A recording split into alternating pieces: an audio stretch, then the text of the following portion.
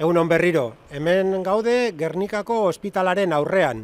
Edo hobeto esan da, e, ospitala izena daukan eraikin handi baten aurrean, baina benetan ospitale baten funtzioak betetzen ez dituen eraikin baten aurrean. Gure ustez e, metafora edo adirazle oso argi bada.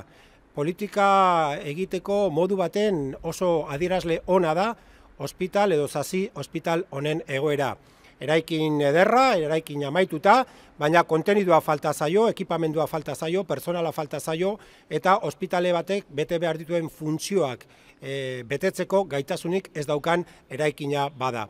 Esaten genuen, hau dela politika egiteko modu baten metafora egokia. Hain zuzen ere, Eusko Jaularitzaren osasun politikarena. Fatxada haundia, eraikin haundiak, zementoa eta hormigoia, baina benetako beharrak azetzeko gaitasunik ez.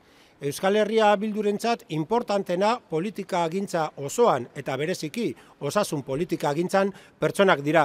Bi mailatan lehenengo eta behin nola ez, pazienteak osasun eh, tratamendua behar duten pertsonak, azken finean gure bizitzan zehar guztiok izango gara osakidetzan osasun zerbitzuen pazienteak. Hoiek zentralidadea hartu behar dute, hoiek erdigunean kokatu egin behar dira, eta begarrenek ere pertsonak direlako ere, osasun zerbitzuetako pertsonala, medikoak, erizainak, beste pertsonal guztia, beraiek dira gure osasun sistemaren bizkar ezurra, eta beraiei etzai ematen dagokien behar duten merezi duten trataera.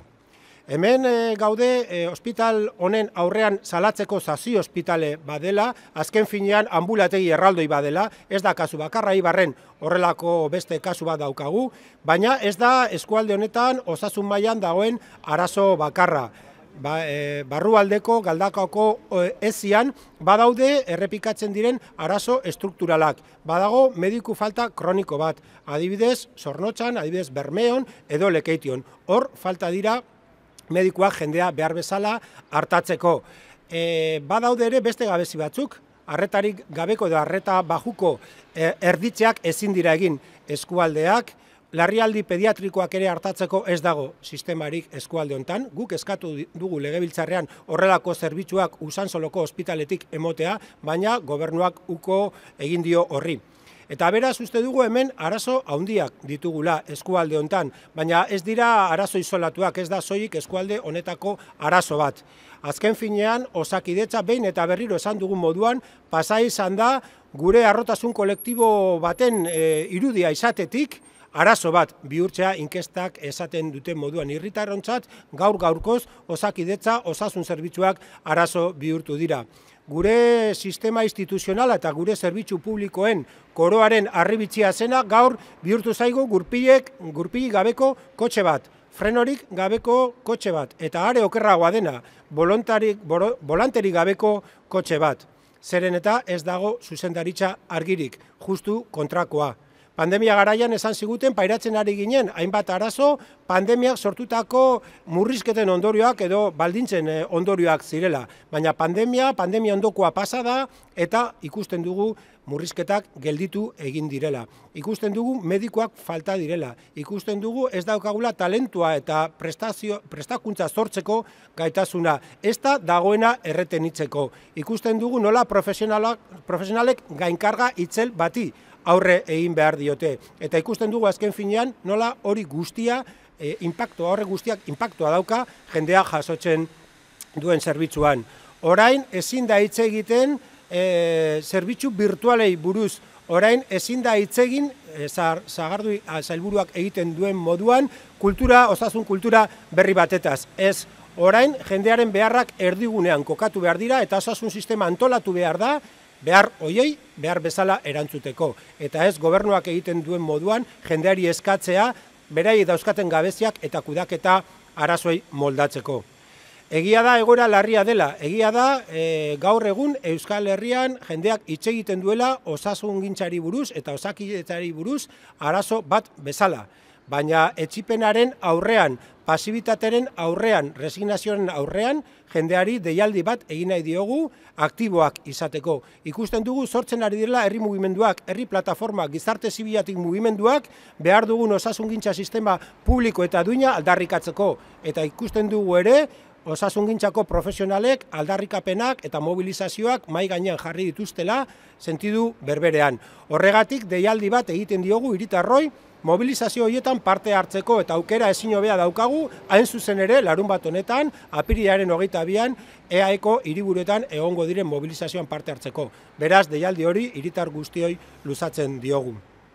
Osakidetza ha pasado de ser un motivo de orgullo colectivo a ser un problema tal y como detectan las encuestas. Ha pasado de ser la joya de la corona del sistema autonómico de los servicios públicos a ser un coche sin ruedas, sin freno y lo que es peor, sin volante, sin dirección, porque no hay nadie al volante de Osakidecha. Estamos asistiendo a unas declaraciones por parte de los responsables, el endacari o la consejera, en la cual se nos pide que nos resignemos y asumamos las limitaciones del sistema. Nos hablan de una nueva cultura sanitaria, nos hablan de atención virtual, nos hablan de crisis de crecimiento cuando en realidad lo que estamos asistiendo es la incapacidad de los poderes públicos para prestar a la ciudadanía los sistemas sanitarios que nos merecemos y que una vez tuvimos. Estamos retrocediendo en lugar de avanzar y eso no es de recibo. Por eso pedimos a la ciudadanía que ante la gravedad de la situación no caiga en la tentación de la resignación, de la pasividad, de quedarse en el bar o en el ascensor hablando de lo mal que funciona Osakidecha, de lo que tenemos que esperar para que se nos atienda, de las deficiencias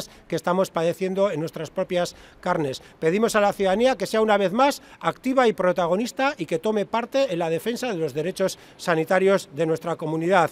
Afortunadamente, tanto la sociedad civil a través de diferentes plataformas como los profesionales y las profesionales de Osakidecha ya están articulando mecanismos de propuesta y de, de protesta y de propuesta para defender una sanidad pública digna para todos.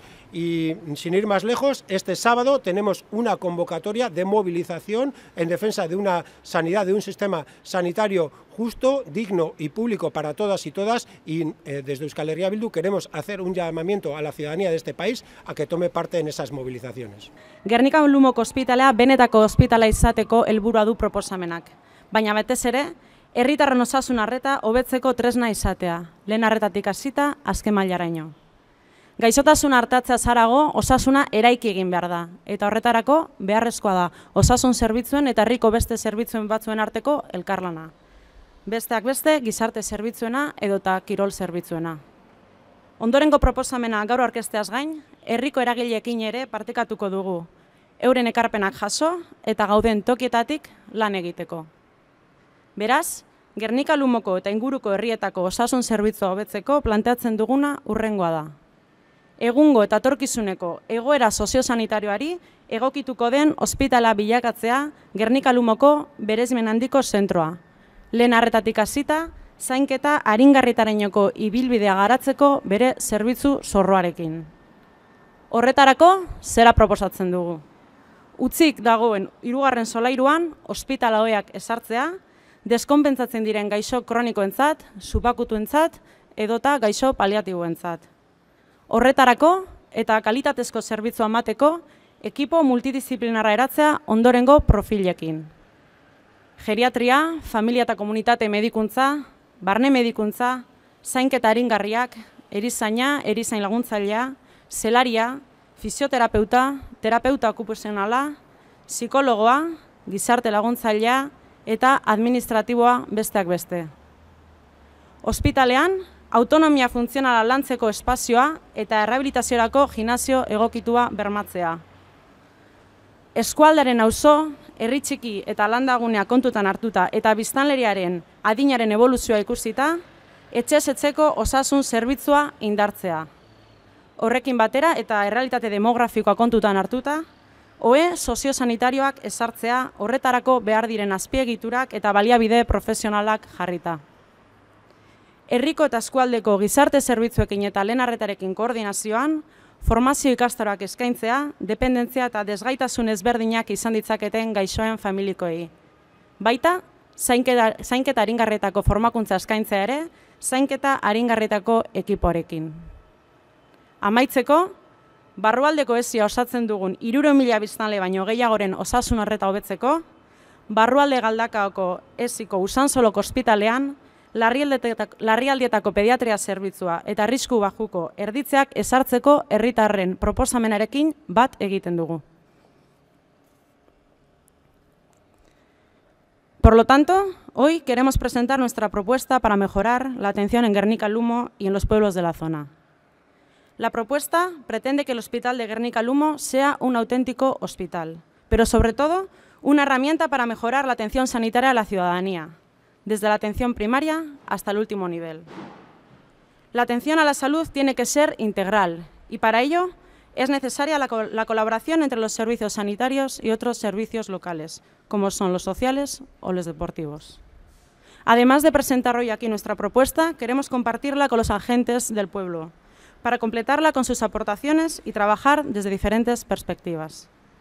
Por lo tanto, lo que planteamos para mejorar los servicios sanitarios de Guernica-Lumo y de las localidades de la zona es convertir el Centro de Alta Resolución de Guernica-Lumo en un hospital adaptado a la situación sociosanitaria actual y futura, con una cartera de servicios que desarrolle el itinerario desde la atención primaria hasta los cuidados paliativos. Para ello proponemos camas hospitalarias en la tercera planta, en estos momentos vacía, para crónicos, subagudos y enfermos paliativos. Constitución de un equipo multidisciplinar para la prestación de un servicio de calidad con los siguientes perfiles. Geriatría, medicina familiar y comunitaria, medicina interna, cuidados paliativos, enfermería, auxiliar de enfermería, celador, fisioterapeuta, terapeuta ocupacional, psicólogo, asistente social y administrativo, entre otros. Garantizar también un espacio para trabajar la autonomía funcional en el hospital y un gimnasio adaptado para la rehabilitación. Potenciar el servicio de salud a domicilio teniendo en cuenta los barrios, pequeños pueblos y núcleos urbanos de la comarca, y la evolución de la edad de la población. Junto a ello, y teniendo en cuenta la realidad demográfica, la implantación también de camas sociosanitarias, aportando las infraestructuras y recursos profesionales necesarios para ello. Ofrecer cursos de formación en coordinación con los servicios sociales y la atención primaria a familiares de personas enfermas con diferentes discapacidades o dependencias. Y también cursos de formación de cuidados paliativos con el equipo de cuidados paliativos. Por último, y para mejorar la atención sanitaria a más de 300.000 habitantes que conformamos la OSI Barrualde, nos sumamos a la propuesta ciudadana de implantar el servicio de urgencias pediátricas y de partos de bajo riesgo en el Hospital de Usánsolo de la OSI Barrualde Galdacao.